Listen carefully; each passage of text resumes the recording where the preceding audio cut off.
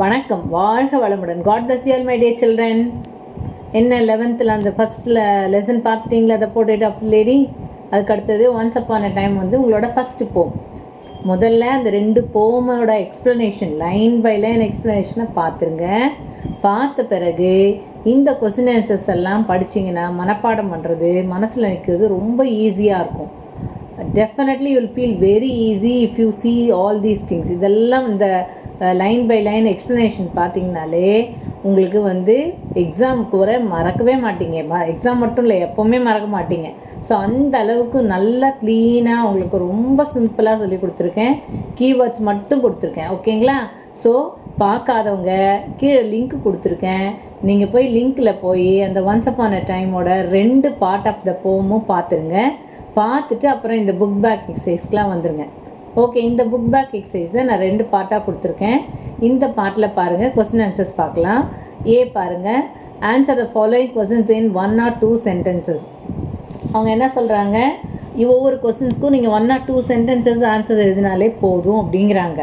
சரி இப்போ நான் வந்து அதுலேயும் உங்களுக்கு கீவேர்டு தான் கொடுத்துருக்கேன். நீங்கள் என்ன பண்ணணும்? கொஸ்டின்ஸையும் அதில் இருக்க வாட்டு வெண்ணெல்லாம் எடுத்துகிட்டு சேர்த்து எழுதணும். இப்போ ஃபஸ்ட் கொஸ்டின் பாருங்கள் what do you associate with the title of the poem அதாவது இந்த டைட்டில் ஆஃப் த போமோட எதை அசோசியேட் பண்ணி சொல்கிறாங்க அப்படின்னு. அப்போ நம்ம டைட்டில் ஆஃப் த போம் என்ன? ஒன்ஸ் அப்பான் எ டைம் அப்போ இந்த நம்மளோட போய்ட் என்ன சொல்கிறாரு once upon a time people were frank and friendly ரொம்ப ஃப்ராங்காகவும் ரொம்ப ஃப்ரெண்ட்லியாகவும் இருந்தாங்க. நவ் தே ஆர் ஹிப்போக்ரைட்ஸ் ஹிப்போக்ரைட்ஸ்னால் என்ன அர்த்தம் அப்படின்னு சொன்னால் இது நடிக்கிறதுன்னு சொல்லுவோம் இல்லையா? இப்போ வந்து நிஜமாவே வந்து பார்த்தா சந்தோஷமே இல்லைனா கூட அப்படியே ரொம்ப சந்தோஷப்படுற மாதிரி என்ன பண்ணுறாங்க நடிக்கிறாங்க. இது எல்லாமே நான் போம்ல. ரொம்ப கிளியராக லைன் பை லைன் அழகாக எக்ஸ்பிளைன் பண்ணியிருப்பேன். உங்களுக்கு கேட்கறதுக்கு ரொம்ப இன்ட்ரெஸ்டிங்காக இருக்கும். இப்போ ஆக்சுவலாக எப்போ எந்த மாதிரி ஃபீல் பண்ணி இது எப்பயோ எழுதியிருக்காரு நம்மளோட போய்ட் அப்போவே அப்படி வந்து சொல்லியிருக்காருன்னா அதை நீங்கள் வந்து என்ஜாய் பண்ணி பார்க்கலாம். அது போய் பாருங்கள் பி கொஸ்டின் பாருங்கள் இப்போ. What is the relationship between the narrator and the listener narrator poet அப்படின்னு எதாவது யார் சொன்னாலும் நம்ம யாருன்னா ஐயின்னு சொல்லுவோம். ஐயின்னு சொன்னாலும் எல்லாமே யார் தான் போயட் தான். ஏன்னா அவர் தான் எழுதுறதுனால அவர் ஐயின்னு சொல்லிப்பார். ஐயின்னு சொன்னாலும் போயட் தான். நரேட்டர்னாலும் போயட் தான். ஓகேங்களா அப்போ லிசனர் யாருன்னா யாரை பார்த்து சொல்கிறாரு அப்படின்னு கேட்குறாங்க ஸோ இந்த இடத்துல போயட் அவர் என்னவா வச்சுக்கிறாரு? ஃபாதராக வச்சுக்கிறாரு. அவர் அப்பாவாகவும் கேட்குறவங்கள வந்து கேட்குறது யாருன்னா தான் பையன்கிட்ட பேசுகிற மாதிரி இந்த போம் வந்து அமைஞ்சிருக்கு. அதனால ரெண்டு பேருக்கும் என்ன ரிலேஷன்ஷிப் என்ன அப்படின்னு கேட்டால் ஃபாதர் அண்டு சன் அப்பா பிள்ளை. அப்போ வெறுமே ஃபாதர் அண்ட் சன்னு மட்டும் எழுதுனா மார்க் கொடுத்துருவாங்களா? அப்படின்னா சம்டைம்ஸ் கொடுப்பாங்க. ஏன்னா இது கீவேர்டுங்கிறதுனால ஆனால் உங்களோட டேலண்ட்டை நீங்கள் காமிக்கணும் அப்படின்னு சொன்னால் நீங்கள் ஃபுல்லாக சென்டென்ஸில் எழுதும்போது தான் அதுக்கு வந்து ஃபுல் மார்க்குக்கு வந்து கண்டிப்பாக போடலாங்கிற ஒரு ஒப்பீனியன் கிடைக்கும். அப்போ என்ன எழுதுவீங்க? வாட்டை மட்டும் விட்டுருங்க. அந்த ஈஸுங்கிறது வந்து பின்னால் வரும். The relationship between the narrator and the listener is அப்படின்னு போட்டு ஃபாதர் அண்ட் சன் அப்படின்னு சொல்லி முடிச்சிடணும். எப்போவுமே வெறும் அந்த கீவேர்டை மட்டும் ஆன்சராக எழுதக்கூடாது. அப்போ ஏன் நான் கீவேர்ட் கொடுக்குறேன்னா கீவேர்ட் மட்டும் நீங்கள் மனப்பாடம் பண்ணால் போதும். மீதி எல்லாம் கொஸ்டினில் இருக்க போதும். ஓகேவா உங்களுக்கு ரொம்ப you'll feel very simple and easy இந்த கொஸ்டின் ஆன்சர்ஸை பார்த்தீங்கன்னா. சி பாருங்க. What happens to the poet when he visit someone for the third time அதாவது போயட்டு விசிட்டுன்னு இருக்காரு. அப்போ ஒருத்தரை போய் தேர்ட் டைம் மூணாவது தடவை பார்த்தா அவங்க என்ன பண்ணுவாங்க? அப்படின்னு சொல்லி இந்த போமில் போயட் சொல்கிறாரு அவர் சொல்கிறாரு இல்லையா?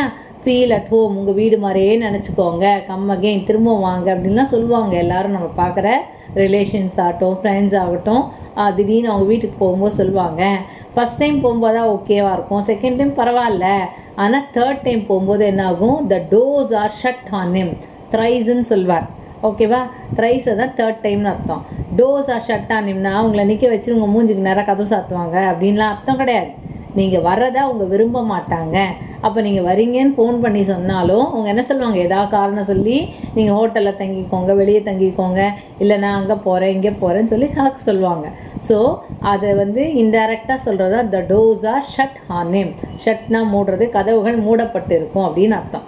பாருங்கள் டி கொஸ்டின் என்னென்னா pick out expressions that indicate conflicting ideas அது என்ன கான்ஃப்ளிக்டிங் ஐடியாஸ் அப்படின்னா ஒன்றுக்கு ஒன்று எதிர்மறையான அதாவது ஒன்றுத்துக்கு ஒன்று நேர் எதிரான வார்த்தைகள் சொல்கிறது பாருங்கள் அது மாதிரி என்னென்னலாம் சொல்கிறாரு இந்த போமில் என்னென்ன எக்ஸ்பிரஷன்ஸ் யூஸ் பண்ணுறாருன்னு கேட்குறாங்க to say goodbye when one mean good riddance good பைன்னு என்ன அர்த்தம் ஆ பார்க்கலாம். உங்களை பார்த்து ரொம்ப சந்தோஷம். அப்புறம் பார்க்கலாம் அப்படின்னு சொல்லி சந்தோஷமாக சொல்கிறத எப்போ சொல்கிறாங்கன்னா குட் ரிடன்ஸ் குட் ரிடன்ஸ்னா அப்பாடா இவங்கக்கிட்ட தப்பிச்சா போதும் அப்படிங்கிற நிலையில அதை யூஸ் பண்ணுறாங்க அப்போ ஒன்றுத்துக்கு ஒன்று கான்ஃப்ளிக்டாக இருக்குது ஓகேவா அடுத்து பாருங்கள் to say glad to meet you without being glad அதாவது கிளாட் டு மீட் யூனா அப்பா உங்களை பார்த்ததுல எனக்கு ரொம்ப சந்தோஷம் அப்படின்னு சொல்லுவாங்க. எப்போ தெரியுமா? வித்தவுட் பீயிங் கிளாட் அவங்கள பார்த்து சந்தோஷமே இருக்காது. ஆனால் என்ன பண்ணுறது அந்த மாதிரி சொல்லி வைப்போமேன்னு சொல்கிறது அப்போ இதுவும் ஒன்றுத்துக்கு ஒன்று எதிர் எதிரானது விஷயத்த செய்கிறாங்க அடுத்தது பாருங்கள் to say it's be nice talking to you after being bored it's been nice talking to யூனா உங்கள் கூட பேசிகிட்டு இருந்தது எனக்கு ரொம்ப ரொம்ப சந்தோஷமாக இருக்குது நல்லா இருந்தது அப்படின்னு சொல்கிறது எப்போ சொல்வா சொல்கிறாங்க இப்போல்லாம்? பீயிங் போர்டு ரொம்ப போர் அடிக்கும்போது அந்த மாதிரி வார்த்தையை சொல்கிறாங்க ஏன்னா அதுக்கப்புறம் அப்படியே தப்பிச்சு வந்துடலாம் அப்படிங்கிறதுக்காக. ஸோ போர் அடிக்கும்போது நான் நல்லா நல்லா இருக்கவங்களோட பேசுறதுங்கிறது கான்ஃப்ளிக்ட்டு அதே மாதிரி கிளாடே இல்லாதப்ப கிளாட் டு மீட்யூன்னு சொல்கிறது அது மாதிரி எப்படா தப்பிச்சு போகலான் போது குட் பை சொல்கிறது இது மூணுமே கான்ஃப்ளிக்டிங் எக்ஸ்ப்ரெஷன்ஸு உங்கள் புக்கில் இருக்குதுன்னு சொல்லி அந்த போமில் இருக்குங்கிறத சொல்லியிருக்காங்க. அடுத்து ஈ பாருங்க. How does the poet compare his face with dresses எப்படி வந்து ஃபேஸை வந்து ட்ரெஸ்ஸஸ்க்கு மேட்ச் பண்ணி சொல்கிறாருன்னா யோசிச்சு பார்த்தீங்கன்னா நான் இதை போமில் நல்லா எக்ஸ்பிளைன் பண்ணியிருப்பேன். நம்ம ஒவ்வொரு இடத்துக்கு போகும்போது ஒவ்வொரு மாதிரி நம்ம ட்ரெஸ் போடுறோம் இல்லையா?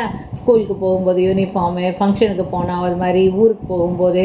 ஸோ அந்த மாதிரி அப்பப்போ ட்ரெஸ்ஸை like dresses he changes space face அவரோட முகத்தையும் அக்கார்டிங் டு த சுச்சுவேஷன் சுச்சுவேஷனுக்கு ஏற்ற மாதிரி இப்போ எல்லாரும் அவங்களோட முகத்தை மாற்றிக்கிறது தான் ட்ரெஸ்ஸோட அவர் என்ன பண்ணுறாரு ஃபேஸை ட்ரெஸ்ஸோட கம்பேர் பண்ணுறாரு நான் திரும்ப ஒரு தடவை படிக்கிறேன். Like dresses he changes his face according to the situation நான் சொன்னேன் இல்லையா?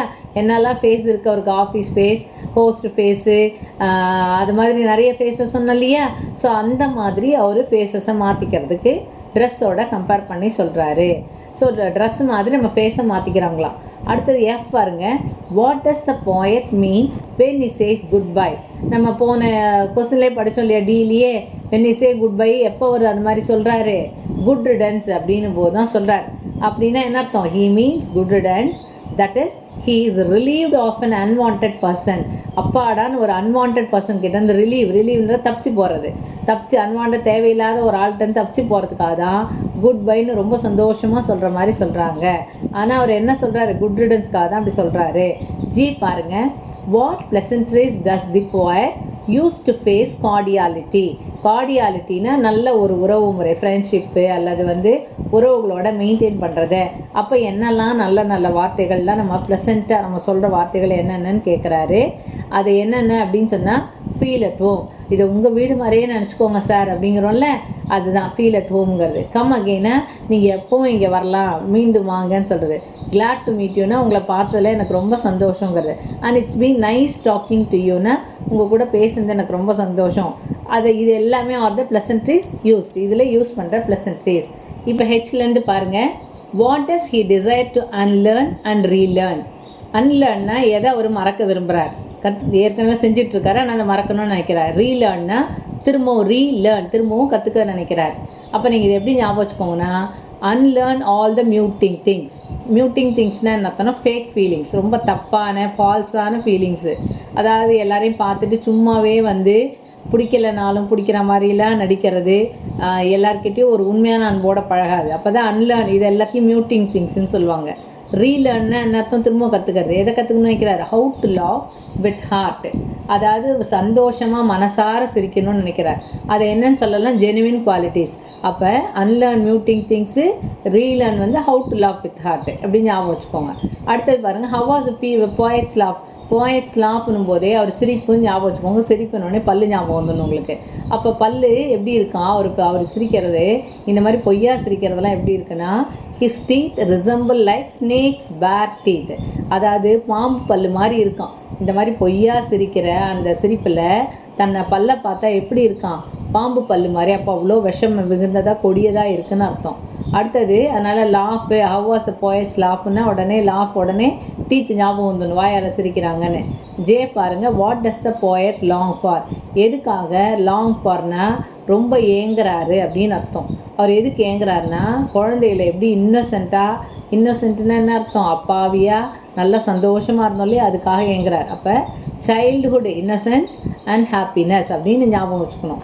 ஓகே பாருங்கள் mention the qualities that child இந்த போம்ஸ் இந்த போம் சிம்பலைசஸ் இந்த போமில் சைல்ட்ஹுட் குவாலிட்டிஸை எதெல்லாம் சிம்பலைஸ் பண்ணுறாங்க அப்படின்னா நீங்கள் குழந்தைய பார்க்கும்போதே தெரியல சைல்ட்ஹுட் ஃபார்மில் சிம்பலைசஸ் uh, இது என்ன குவாலிட்டிஸ்னு வந்தாலே இது நாலு ஞாபகம் வச்சுக்கோங்க. சென்ஸ் ஆஃப் பியூரிட்டி பியூரிட்டினா அதில் வந்து உண்மையான ஒரு உண்மைத்தன்மை இருக்கும்.